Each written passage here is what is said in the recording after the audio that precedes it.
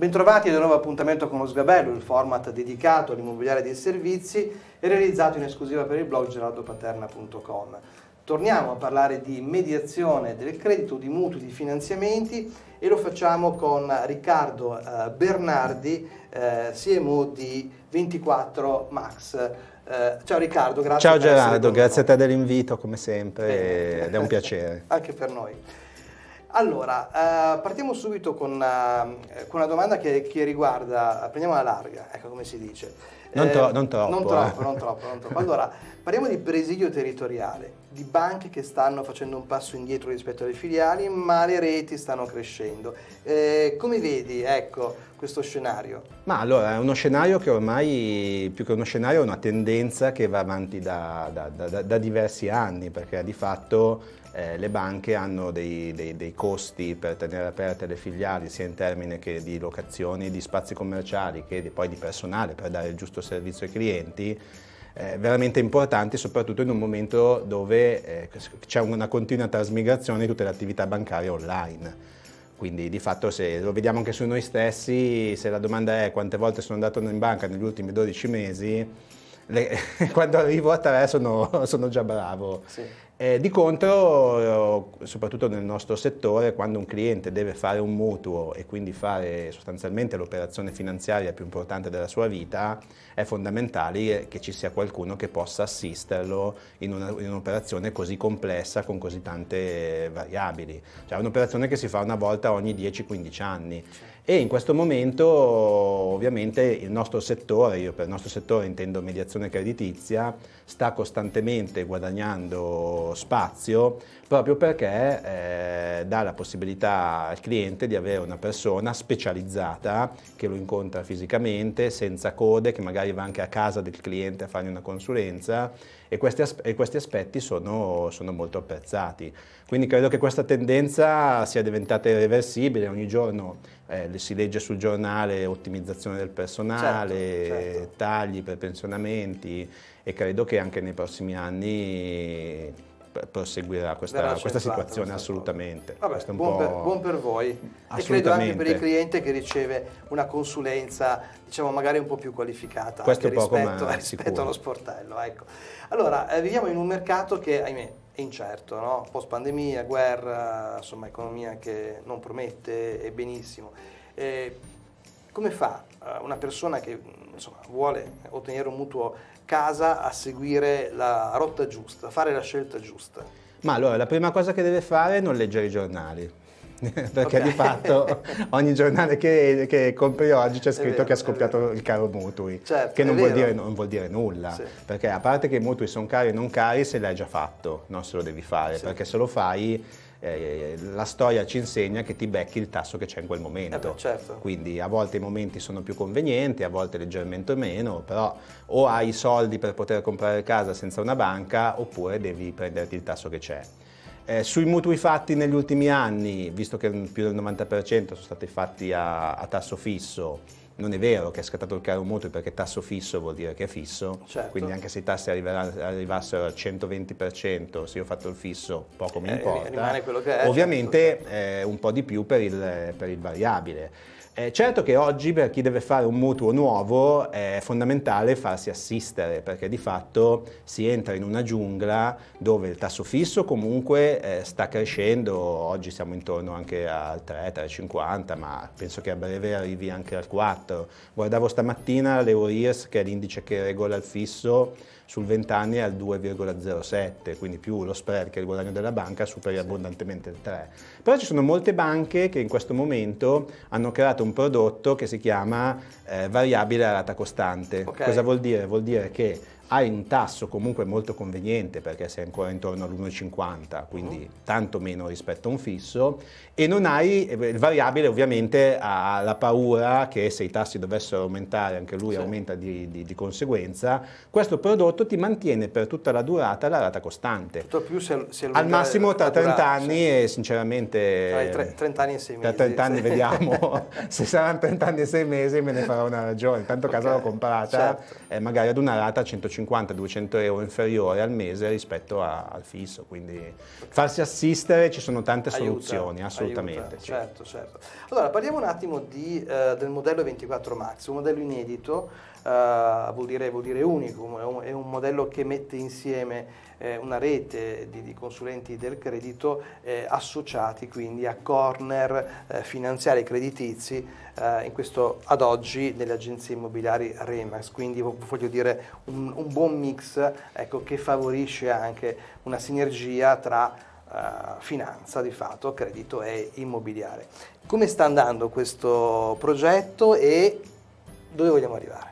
Ma allora, hai detto una cosa giusta, il modello è unico eh, perché ci sono anche altre reti che hanno questa situazione di mediatori creditizi, agenti immobiliari, la differenza è che non abitano nella stessa casa. Certo. Di fatto noi non facciamo uffici finanziari separati dall'agenzia immobiliare perché nostra, il nostro sogno era quello di avere il cliente acquirente nel momento in cui entra in una nostra agenzia immobiliare, Remax, in tempo reale si trova l'esperto del credito che già lo indirizza nel modo giusto e questo sta dando degli ottimi risultati perché di fatto eh, il, vabbè, il, primo risultato è che in un mercato, i, i dati CRIF ci dicono che nei primi quattro mesi il mercato, sta, il mercato, dei mutui sta contraendosi del 25%, noi nei primi quattro mesi siamo a più 25% rispetto, sì. rispetto all'anno scorso, anche come nuove pratiche caricate.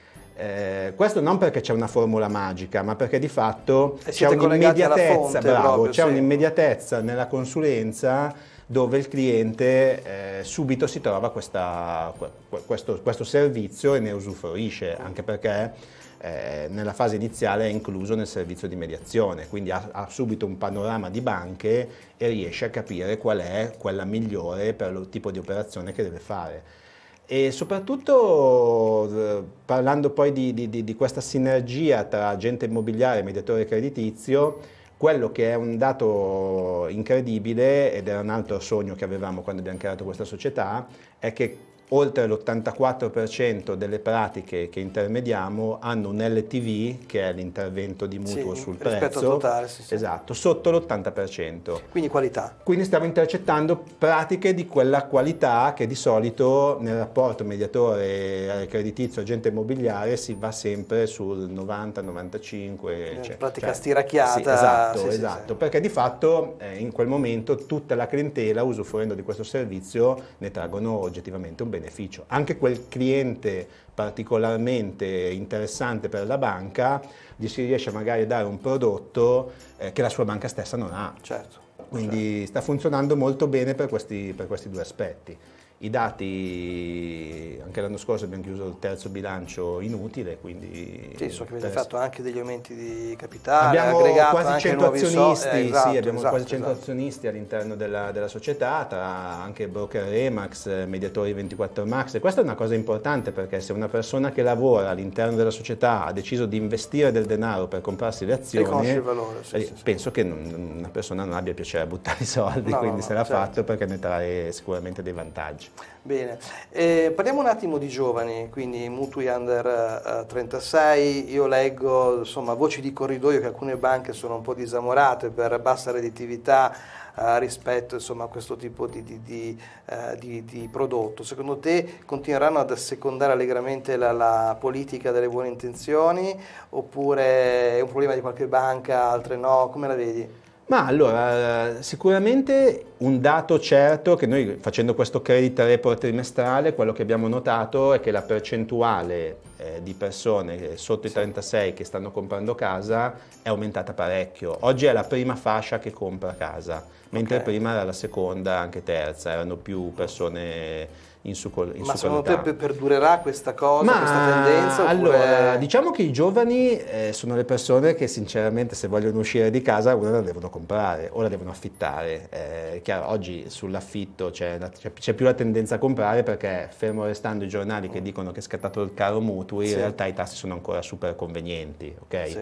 Io ricordo il 2007 che era stato l'anno col massimo Sì, numero delle vero. compravendite, il, il variabile era il 5, il fisso era l'8. Sì. Quindi un fisso al 3 oggi Un è affare, comunque un tasso eh, di tutto rispetto. cioè io lo farei domani mattina. Certo. Se... Chiaro che se sei mesi fa lo facevi all'1, eh, però purtroppo nessuno si aspettava uno scenario del genere. E sul fatto che possa continuare, adesso il governo ha, ha- eh, Certo. chiamo Mario Draghi, gli chiedo che intenzioni ha per il futuro. Magari le però- intenzioni sono anche buone, bisogna capire poi se, se, se il sistema ma allora, bancario... diverse banche insomma, eh, sì, hanno dei prodotti agevolati per Sì. gli under 30, gli under 36 Sì. e stanno continuando anche a promuoverli. Sì. Quindi poi sai... C'è qualcuno che però dice non voglio entrare in quel mercato? Ma c'è qualche banca che ovviamente sta fuori, poi non conosco le, le- le- le politiche di ogni banca Certo. in termini di, di- di proprio core business, Certo. eh, però secondo me essendo diventata la fascia di, di mercato più ampia oggi sarebbe un peccato non, non continuare a fare dei prodotti ad hoc per questa situazione. Ok. Quindi secondo me è una tendenza che sicuramente per il 2022 eh, può continuare sta e sta continuando. Sta continuando. Per i prossimi anni, come si dice, fammi indovino e ti farò ricco. Ecco, va bene, va bene. Ehm, a proposito, prossimi anni, allora, sappiamo che ehm, il mercato... Aspetta, aspetta che ora Eh, consulto. sì, lo- eh. l'oracolo. Eh, insomma, il 50% del fatturato eh, immobiliare, quindi da compravendita, è sostenuto dai mutui. Eh, secondo te questo- questa situazione così di, di incertezza potrebbe portare a così un, un restringimento dei criteri di eh, erogazione e quindi un meno im- minore impegno delle, delle banche ecco, a concedere mutui? Questo in qualche modo poi influirà di fatto anche sul eh, numero di compravendite. Come, come vedi, è plausibile questo pensiero o- Ma, oppure no? Allora, storicamente il- l'immobiliare finanziario sono sempre andati a braccetto Certo. e lo andranno sempre, quindi questo dato del 50% è sempre stato così, Sì. storicamente, indipendentemente da picchi di mercato o crolli di mercato. Sì. Anche perché l'alternativa per un cliente è non fare il mutuo e mettere i soldi, però Certo. se non li hai non Eh, compri la no, casa, certo, cioè, non certo. è che sono un po' pragmatico su questa Sì, sì, sì. Su- sui criteri assuntivi, ma allora da una parte le banche eh, apprezzano molto il prodotto mutuo e Mm. oggi eh, avendo dei tassi comunque un filo più, più- più alti hanno anche dei margini un po' più interessanti. Ok. Quindi sai, eh, è il prodotto migliore per una banca perché comunque è un prestito garantito da un immobile. Ok. Quindi è, è un prodotto che piace molto.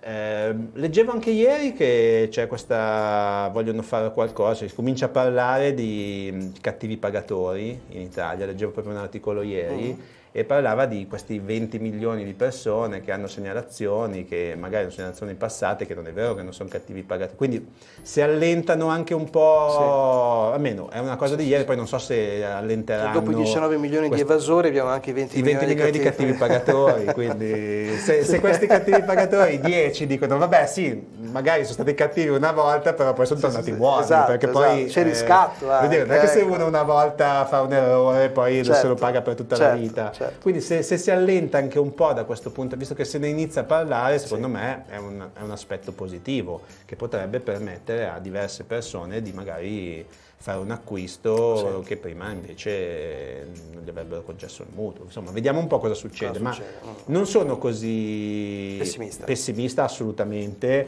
Eh, certo, essere euforici e ottimisti sarebbe, sarebbe stupido oggi Sì, perché sì, comunque eh, il mondo non, non è proprio un Posto tranquillo. Un posto, Ok. un posto sereno oggi. Questo Eh, di fatto noi dobbiamo, non possiamo farci nulla, sarebbe bello poter fare qualcosa, ma Eh. dobbiamo semplicemente adattarci alla situazione che, che stiamo vivendo. Certo. Eh, comunque la richiesta di immobili c'è, Sì. eh, i tassi dei mutui sono ancora molto competitivi.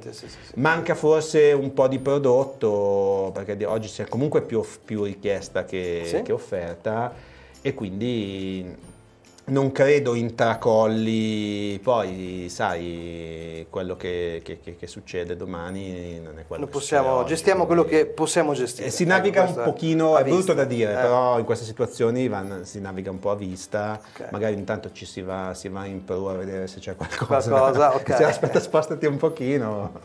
E quindi questo è. Ok, allora come facciamo? Ehm, un appello, ecco, facciamo un appello ai potenziali consulenti del, del credito. Intanto ricordiamo il sito sito web che è www.24max.it, Esatto. peraltro Appena appena, rinnovato. appena rinnovato, nella grafica e nei contenuti, come Esatto. dicevano, come recitava, ok? E, quindi c'è spazio per nuovi consulenti. Eh, perché un consulente del credito o una persona così dovrebbe avvicinarsi a 24 Max per iniziare una carriera Guarda, ti faccio, non, non ti rispondo in, ehm, in linguaggio tecnico, ti Ok. rispondo in una cosa abbastanza d'attualità che è il petrolio. Sì. Perché noi di fatto abbiamo dei pozzi di petrolio che sono le agenzie immobiliari e cerchiamo qualcuno che ci voglia piantare, che è un mediatore creditizio, che voglia piantare la trivella e iniziare ad estrarre il petrolio. Ok, Questo è il motivo per cui dovrebbe far parte del nostro chiaro, gruppo. pragmatico sembra abbastanza bene, semplice.